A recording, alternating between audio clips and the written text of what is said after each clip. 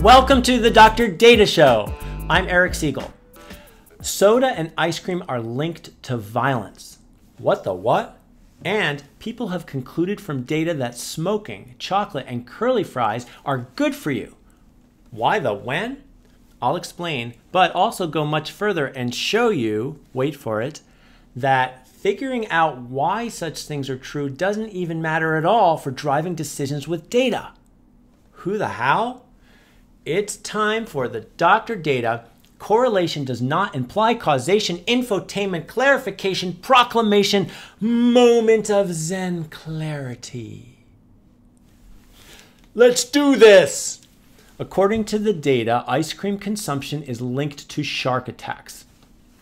How the why? Well, maybe eating ice cream makes you taste better, so you consume the ice cream and the shark consumes you. But the more accepted shark explanation is that it's seasonal. It just so happens that when it's warmer, more people are eating ice cream and also more people are swimming in the ocean. That is to say, there's no causal relationship in either direction. Neither of these things causes the other, even indirectly. Instead, they're both caused by a third factor. So the good news is that we've found a link, a connection, a correlation between these two factors in the data, and that's valuable. The two are indeed predictive of one another. If we see ice cream sales increase, we can rightly ascertain a higher probability of shark attacks and vice versa. But the bad news is that when we discover such a correlation, oftentimes their common cause, some third factor, is just not in our data set at all. The data wasn't included because it was overlooked, or perhaps it would be difficult or costly to collect. So we're stuck with a predictive correlation, but no definitive causal explanation as to why it is so. Now, soda also appears to be dangerous. In 2011, an economics professor and a health policy researcher went public with this as their research result. Among adolescents, they found, quote, a strong association between soft drinks and violence. And they also wrote, quote, drinking more than five cans of non diet soft drink per week was associated with a 9 to 15 percentage point increase in the probability of engaging in violent actions. There may be a direct cause and effect relationship, perhaps due to the sugar or caffeine content of soft drinks. Unquote. Well, after that, a cacophony of media coverage erupted with headlines like Soda totally turns teens into killers. Then skeptics began to push back. Now, they didn't question the correlation between soda consumption and violence. Rather, they questioned the causal relationship. You see, you can conclude that there's a link, a connection, an association, a correlation between two factors without necessarily understanding why it is so. The why, the explanation, always involves causation, some insight as to how things influence or affect one another. The criticism here is that you shouldn't conclude soda causes violence. Rather, it may be that diet is linked to socioeconomic status. Lower income teens consume more junk food, including sodas, and poverty, poverty itself is a risk factor for teen violence. Now, if that story is true, the causal links shown here, like the exact way in which poverty leads to violence, could be pretty complex and somewhat multi-staged, but the point is that this is a plausible alternative explanation that doesn't have soda even indirectly causing violence. So it's unwarranted to sound the alarm about the dangers of soda.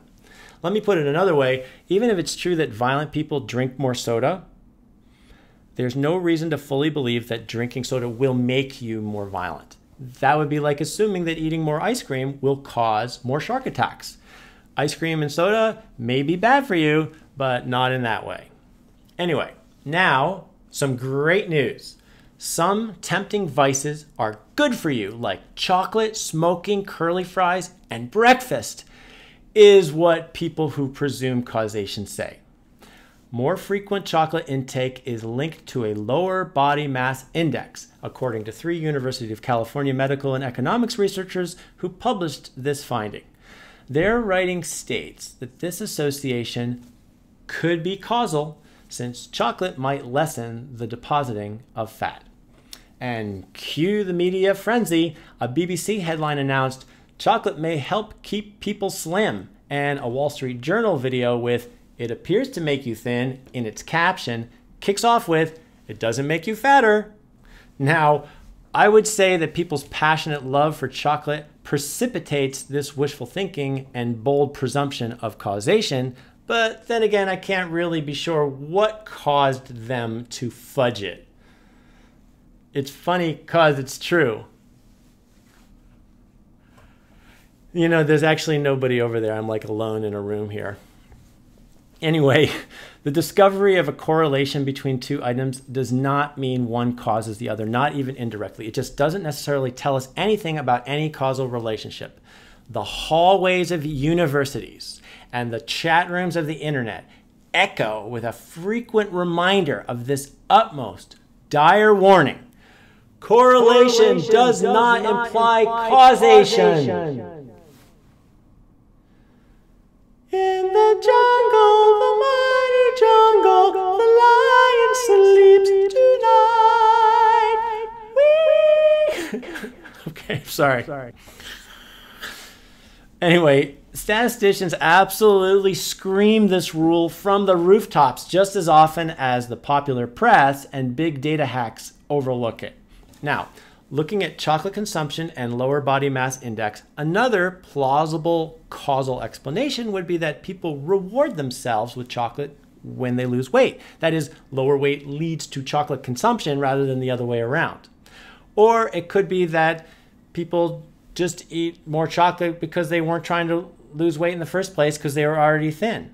Or another possibility is that poverty, which has been tied to higher weight, also makes chocolate less affordable. So people with a lower income weigh more on average and yet also eat less chocolate. Or it could be that some combination of all these different causal relationships. We don't know. The main point is you got to live in the uncertainty and avoid the temptation to presume a specific causal relationship with when only correlation has been established. Adjust your brain to accept this lack of knowledge. Another example smokers suffer less from repetitive motion disorder. An ergonomics consultant found that among editors at a major metropolitan newspaper, those who smoked cigarettes were less likely to develop carpal tunnel syndrome. Could it be that this is a veritable health benefit of smoking? I don't think so. The consultant believes it was because smokers take more breaks. That does seem like a more likely explanation to me, but remember that the correlation in the data in and of itself provides no evidence that one explanation is more likely than another. Scientifically establishing causation usually requires collecting data by way of an experimental setup that includes having a control group. But most of the data out there wasn't collected for science.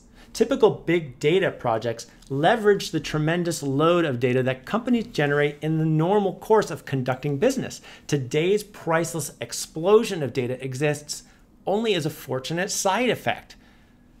Such data, also known as found data, is like data from a typical survey or so called longitudinal research in that it doesn't include any purposely held aside control group.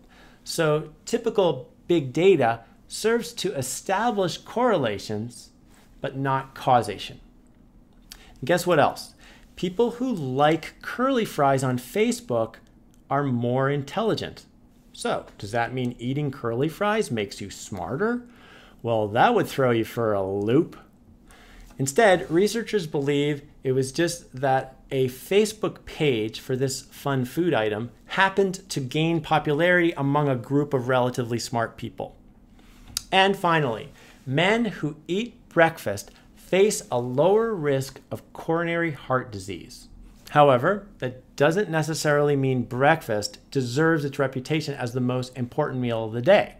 We can't conclude this connection results from the food itself being good for you. Instead, the researchers suggest that eating breakfast is a proxy for lifestyle. If you're leading a busy, high stress life, you're more likely to skip breakfast and you're also subjected to a higher health risk. But once again, that's largely just an intuitive hunch. As always, there are other plausible explanations. Now, You may be asking, doesn't Dr. Data even care why these things are true? Isn't he at least curious? Well, yeah, for sure, but it isn't my day job.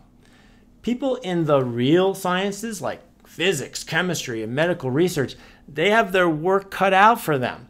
They have to figure out how the world works, why things happen the way they do. I don't envy them because we data scientists have it much easier. Most deployments of machine learning improve decision making without scientifically investigating causal effects.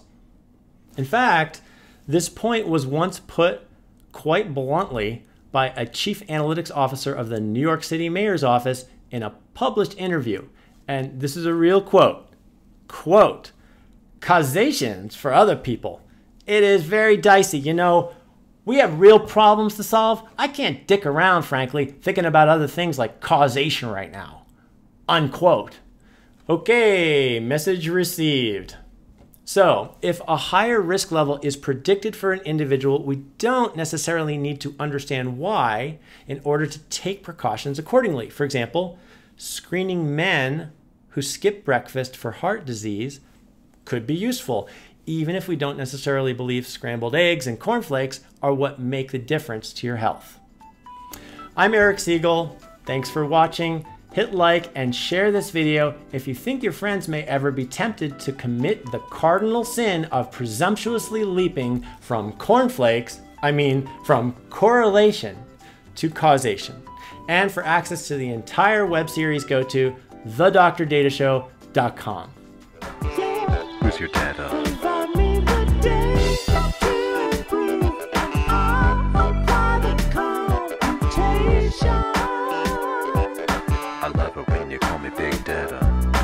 Predictive analytics can help you with decisions. You can call, mail credit, or hire with precision. On Law, Love, and Life, you can prognosticate whom to investigate, incarcerate, set up on a date, or medicate. Charlie Brown never gets his kicks. That's why every old dog needs a brand new trick. If you get sick of chasing sticks or clicks with just a quick fix, you need to learn to predict. predict